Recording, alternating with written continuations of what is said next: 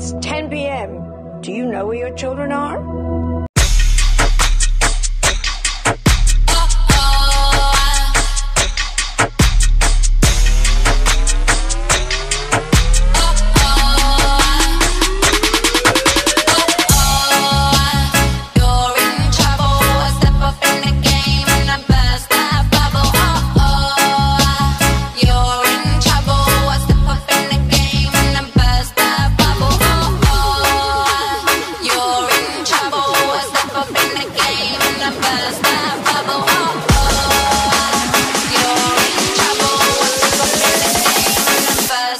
oh, oh.